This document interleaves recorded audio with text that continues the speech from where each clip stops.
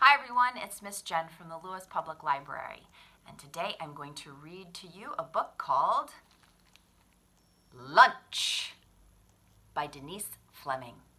Here we go.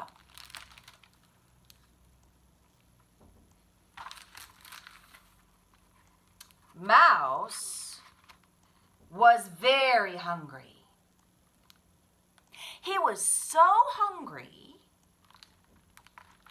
he ate a crisp white turnip.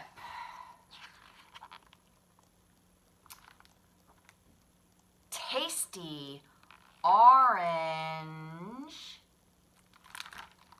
carrots.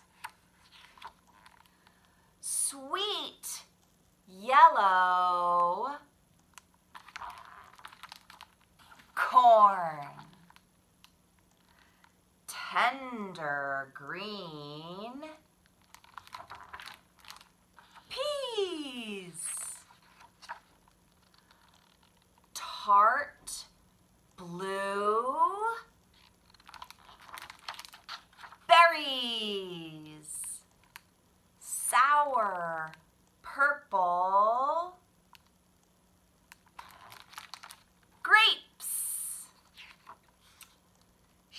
Shiny red apples. And juicy pink watermelon.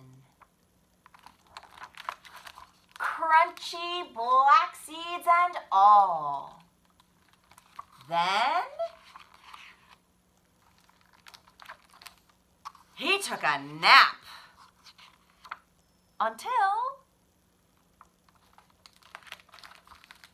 dinner time. The end. That is the story of Mouse and his lunch by Denise Fleming. I hope I'll see you again soon, and I'll look forward to reading to you then.